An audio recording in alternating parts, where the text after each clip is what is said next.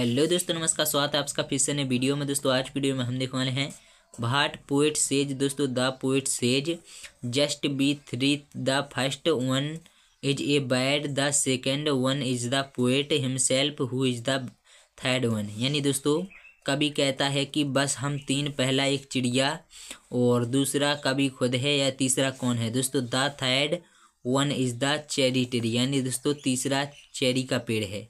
दोस्तों, आशा करता हूँ कि आप लोगों को वीडियो पसंद आएगी। वीडियो पसंद में लाइक ना शेयर करना, चैनल को सब्सक्राइब जो कर लेना चलिए मिलते हैं अगली चलिए मिलते हैं अगली वीडियो में किसी नए टॉपिक के साथ में। तब तक के लिए उसका जैन